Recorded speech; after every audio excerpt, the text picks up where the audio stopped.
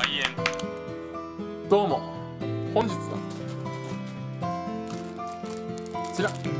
山崎製パンのランチパックボロネーゼ。ボロネーゼを食べたい。十勝十勝産牛肉入りボロネーゼを食べたい。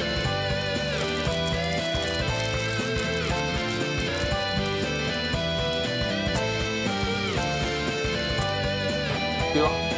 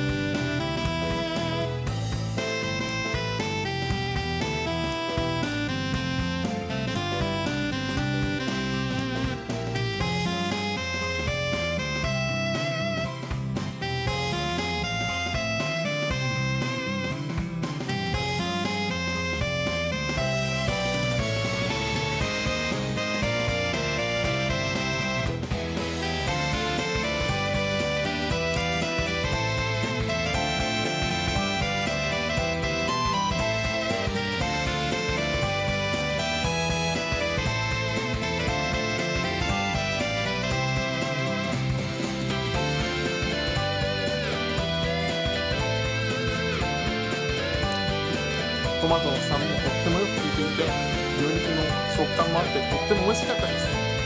ご視聴ありがとうございました。コメントしていただけると嬉しいです。チャンネル登録をお願いします。